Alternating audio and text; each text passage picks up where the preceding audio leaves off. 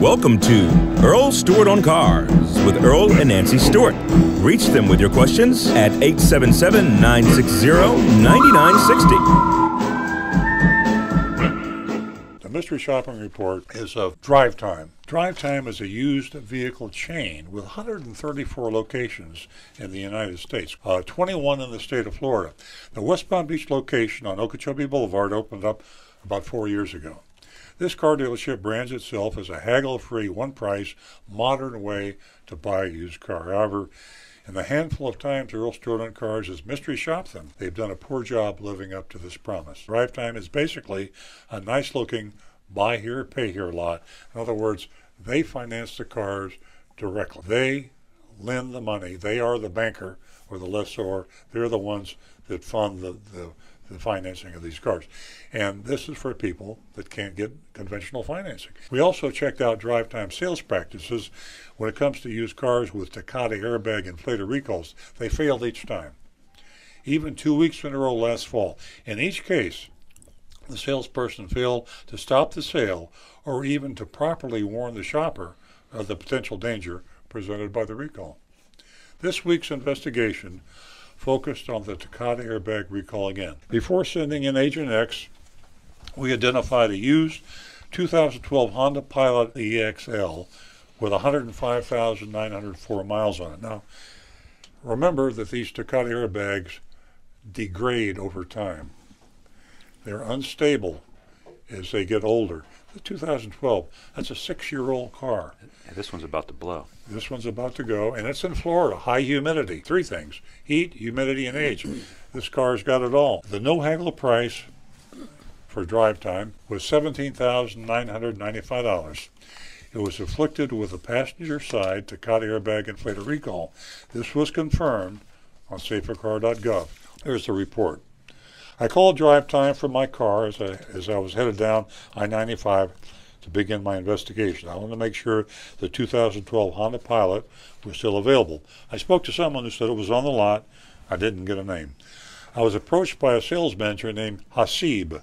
As soon as I entered the building, Hasib wanted to know if I had talked with anyone yet. I said I had called, but I didn't know who I spoke to. He asked for my phone number and then began to tap away on his phone. He said, Hmm, I don't see you in our system. He told me to wait and he would get someone to help me. I waited for a long time, maybe 20 minutes. I got bored, so I wandered outside to try to find the Honda Pilot. I found it. Walked around a little more, then went back inside. After another five minutes, I was finally greeted by a salesperson. He did not tell me his name or ask for mine. The first thing he said to me was to ask if I had brought my pay stubs with me. Can you believe that? Yeah. How'd you like to walk into a Target You're a piece of meat. or Publix and they say, "May we see your pay stubs?" uh, I was taken aback. I said I was there to buy a 2012 Honda Pilot. I said I'd called earlier, but was told and, and was told it was available. The salesman did not appear to listen to me. Just ignored it. You know. He asked if I had done a credit app online and if I had money for a down payment. Now this is drive time. Worst. It's got a nice facility. They got cars out there. You drive in, and, and all they want to know is if you've got your pay stubs, uh, if, if I've done my online credit app, and if I've got enough money for a down payment. Now this this will tell you the status, the type, the mo of these type of. Uh, and, and it doesn't look like that kind of place. doesn't look like that. Indignantly, I asked him, "What was your name again?" I got his attention. Finally, he introduced himself as Faisal. I repeated that I had come to see the 2012 Honda Pilot for $17,995. Faisal told me that they begin the process with a credit application. Here we go. I shut that talk down by telling him I had my own financing with my credit union.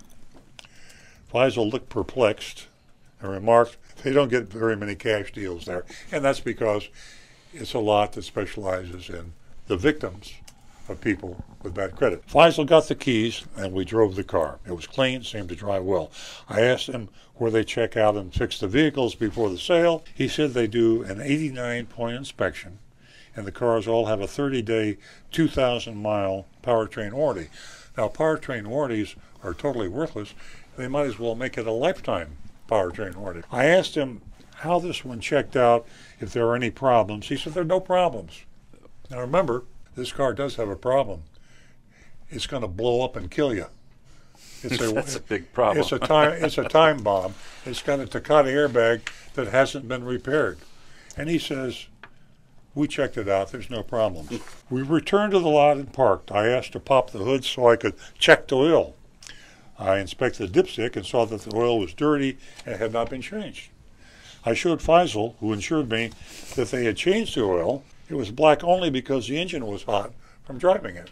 So Rick will enjoy that. I knew Rick's head was going to explode when you read that part. Everybody knows that when you drive a car, he's holding his skull together right the now. engine, the engine causes the oil to get black. Right, and then then it gets clear again yeah. as soon as it cools yeah, off. Right. Yeah.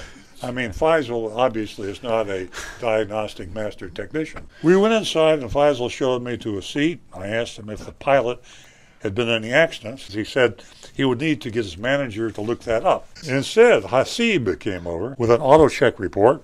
He pointed to the auto check score and said 88 was a good score. Obviously, it's not a very accurate score when the car is going to blow up and kill you. Yeah. and it's got an 88 score. So if it has a defective Takata airbag, how it could score 88, which says it's within the range of all these cars, I just don't know. I asked Hasib if there were any safety issues that I should be concerned with. Hasib did not answer my question. Instead of answering my question, he said, So you want to buy the car? I said if my credit union thought it was a fair price, I would buy it. He left to get the numbers and returned with a printed buyer's order. The no haggle price was the selling price, $17,995 plus sales tax and $678.10 in fees.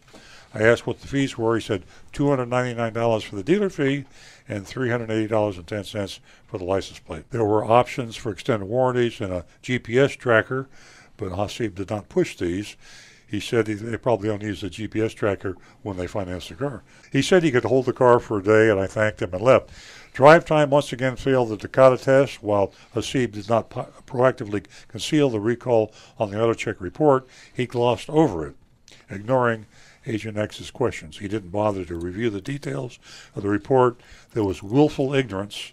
He may not have known about the recall, but we're pretty sure he didn't want to know either. Terrible. Criminal almost. It's not criminal. That's the bad part about it. I guess lying isn't a crime. You can lie to a customer.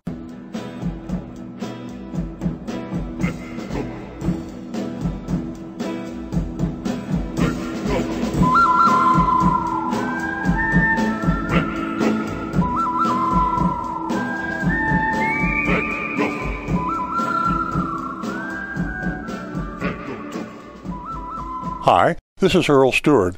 Thank you for watching this video. If you would like to be notified of new videos that we post to our YouTube channel, simply click on the subscribe button at the lower right hand side of the screen.